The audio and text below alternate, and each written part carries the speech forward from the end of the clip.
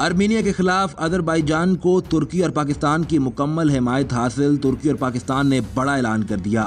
मशरक वस्ती और एशियन ममालिक ने बालाई काराबाग खत्े में आर्मीनियाई फ़ौज और अजरबैजान की फ़ौज के दरमियान बढ़ती हुई झड़पों पर अपनी तशवीश का इजहार किया। ईरान ने अजरबैजान और आर्मीनिया से तनाज़ा ख़त्म करने और बातचीत शुरू करने का मुतालबा किया।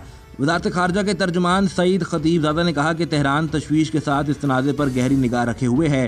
खतीबजादा ने कहा कि ईरान फायरबंदी के क्याम और दोनों फ्रीकों के दरमियान बातचीत शुरू करने के लिए अपनी तमाम तर सलाहियतों को इस्तेमाल करने के लिए तैयार है। अमरीकी सदर ट्रंप ने इतवार के रोज कहा कि अमरीका इस बात पर गौर कर रहा है कि अर्मीनिया और आजरबाईजान के माबैन होने वाले तशद को रोकने के लिए क्या किया जा सकता है? ट्रंप ने व्हाइट हाउस के प्रेस कॉन्फ्रेंस में सहाफ़ियों को बताया कि अमेरिका इस इलाके में बहुत अच्छे ताल्लुकात रखता है। हम देखेंगे कि हम इस सूरत हाल में क्या कर सकते हैं। अर्मीनिया की सरहदी खिलाफ वर्जियों और बलाई काराबाग में हमलों के बाद पाकिस्तान ने आजरबाईजान के पीछे खड़े होने का फैसला किया है।